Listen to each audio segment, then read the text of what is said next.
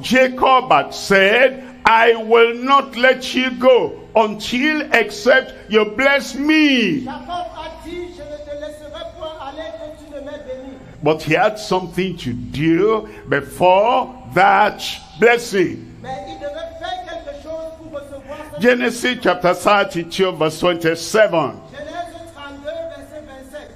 And he said unto him, What is thy name? What is thy name? Why that kind of question? When he wanted to get blessing by a crafty method. And he went to his father Isaac.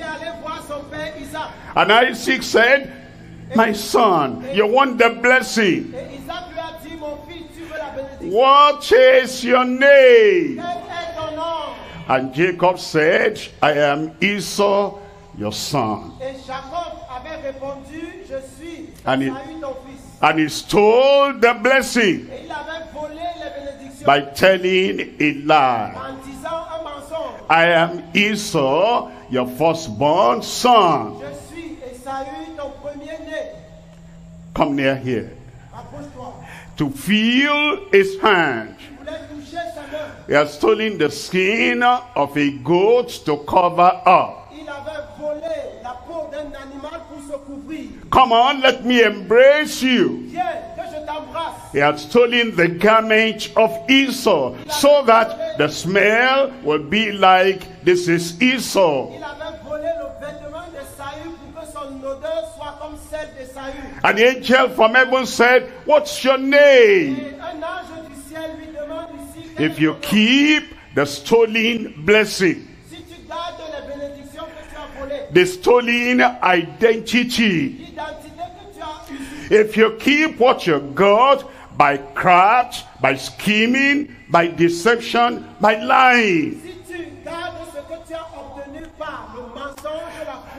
the transformation you are looking for will just be eluding you. la transformation que tu cherches, tu ne vas pas la recevoir. And so the angel said, Tell me now, like you told your father, what's your name? Et l'ange a dit, ok, réponds à ma question comme le père t'avait demandé quel est ton nom. And he said, Jacob. Et il a répondu, Jacob, From within his heart, with all sincerity, with all honesty, he made a true confession.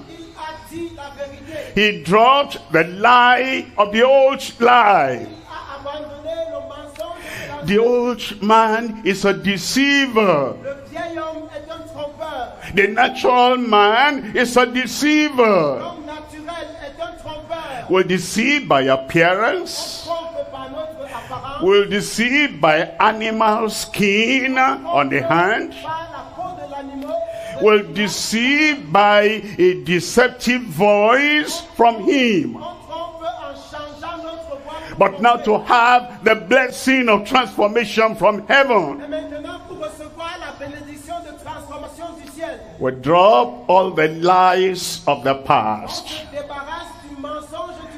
All the deception of the past. de la tromperie du passé, That's what is called repentance. He turned around. He dropped the wrong, deceptive identity. Il a, il s'est débarrassé de l'identité trompeuse et menteuse. When you come to the Lord Quand tu viens au Seigneur, and you want the transformation from heaven, et tu veux la transformation du a change of heart, changement de cœur, a change of life, un changement de, a change of character, a change in your health situation, a change in everything around you and within you. You drop the past and then you take up the new. He said, I am Jacob. The Lord is touching your life tonight. The Lord is turning you around tonight. All deception in action. All deception in attitude. All deception by vocalizing that lie. All deception by quietly smiling. You don't talk, but you smile. But you nod. Mais tu, You're saying yes by your action. When it is no, in reality, when you want the blessing of the Lord, There's a practical, in-depth repentance for you to have that true transformation.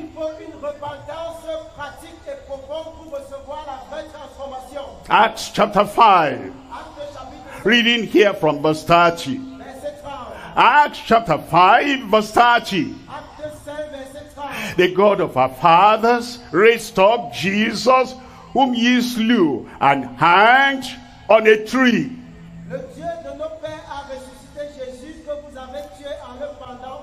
Verse 31. Him as God exalted with his right hand to be a prince and a savior. Dieu l'a élevé par sa droite comme prince et sauveur. He wants to be the prince in your life, Il veut être le prince de ta vie, the king of your life, le roi de ta vie, the Lord of your life. Seigneur de ta vie. He wants to be your savior. Il veut être ton sauveur. Tonight he'll be your savior. Il sera ton sauveur. He'll forgive all your sins. Il te pardonnera de He'll cleanse all your sins. He will save you from the penalty of hell. The soul that sinneth, it shall die. Will be separated forever and ever from the God of heaven. The penalty of sin is hell. Le châtiment du péché, c'est l'enfer. And as you want a change Et comme tu veux un changement, from the penalty of hell to the provision of heaven, du châtiment de l'enfer pour avoir la provision du Christ becomes the prince, the Lord, the king, and the savior. Christ sera ton prince, ton sauveur, ton seigneur. For to give repentance to Israel and forgiveness of sins. What he's telling you now. And he gives you genuine and true repentance. And then no lies anymore. No deception anymore. In Acts chapter 17, Acte chapitre 17, reading from verse 30. 30. Acts chapter 17, verse 30. Acte 17, verset 30. At the times of this ignorance, God winked at. Dieu, sans tenir compte des temps d'ignorance, annonce maintenant. Jacob was ignorant Jacob était ignorant of the method of getting blessing. de la méthode pour recevoir les bénédictions. He thought, I don't have to wait for God. I don't have to allow him to fulfill the prophecy that had been given to my mother before I was born. ne dois pas laisser Dieu accomplir les prophéties annoncées à ma mère avant ma naissance. I'll do it myself. Je le ferai par moi-même. I'll take it myself. Je le prendrai par moi-même. I will use fleshly method, human method. J'utiliserai les méthodes humaines et charnelles. I've had other people do it like that. And I am going to get it by my efforts. He realized later he couldn't get that salvation by his own effort. He couldn't get the divine touch by his own effort. He couldn't get the fulfillment of the prophecy by his own fleshly carnal method.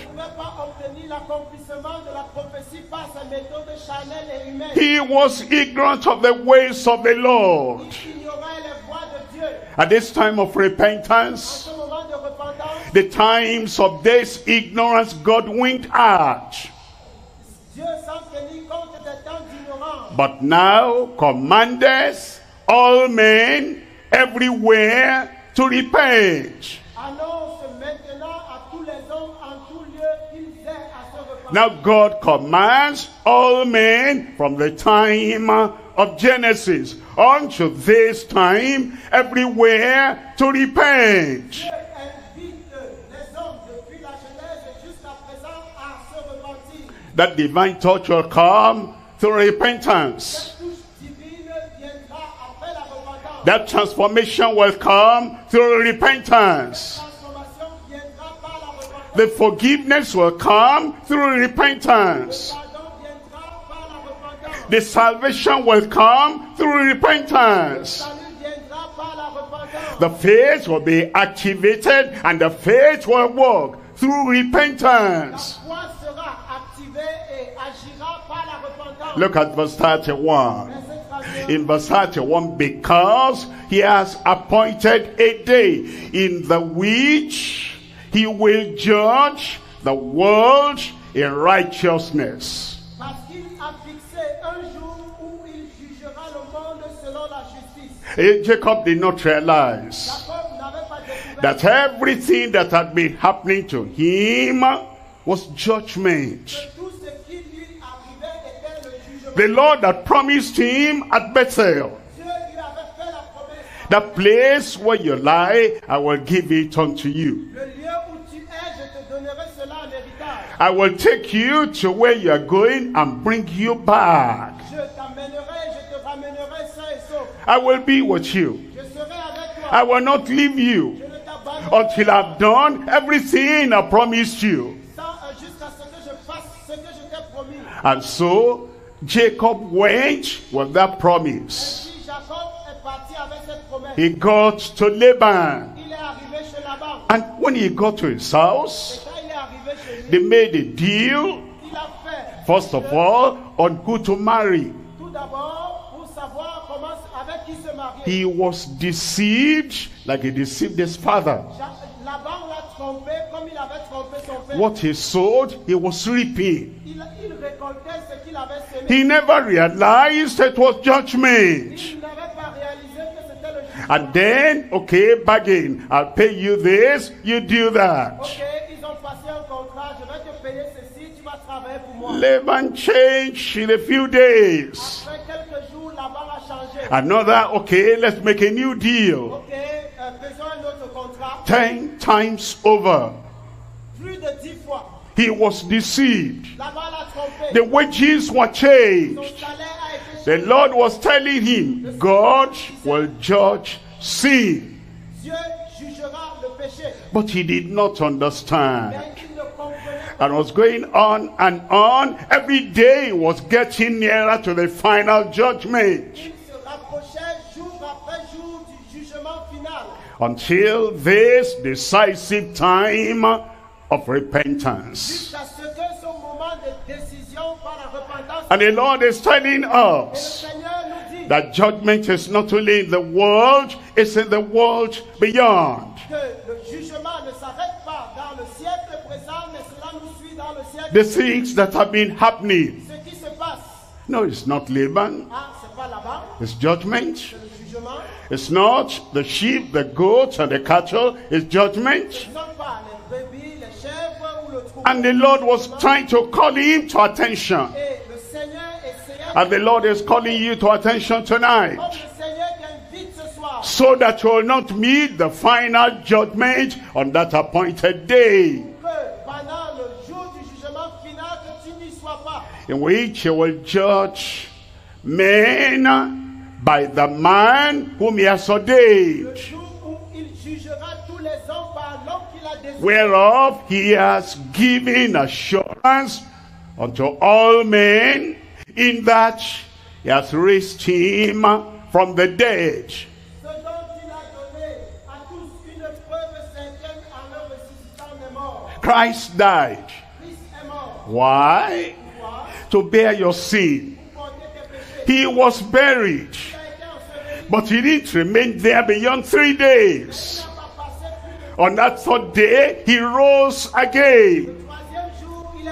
so that he can now present to you salvation. And now by his stripes you are healed. You are blessed. You are turned around. A new life now comes to you. Because he died, he was buried, and he rose again. The. Lord now wants you to believe in him and to understand that the divine touch comes because of him. The divine transformation comes because of him. The change of life, the change of destiny comes because of him. Tonight, it will turn your life around. It will change your destiny. As you repent, as you turn to the Lord, as you believe on the Lord, that divine transformation of destiny will come to you in Jesus' name. We're coming to point number three now. Personal, incredible restoration.